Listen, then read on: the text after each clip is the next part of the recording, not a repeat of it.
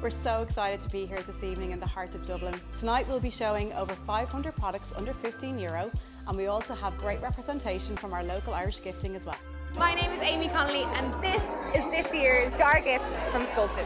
Well, ladies and gentlemen, Malahide woman here. It's such a pleasure to be here, seeing all of the fabulous gifts, so much choice, so much selection, guaranteed to find something for the one you love and guaranteed to find a bit of joy for all. What more do you want this Christmas?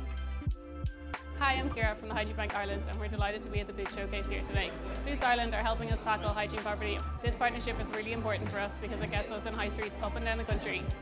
I'm so delighted to be at the Boots Christmas event. It's always such a fabulous event. It looks absolutely amazing as always and there's so many gorgeous Christmas gifts.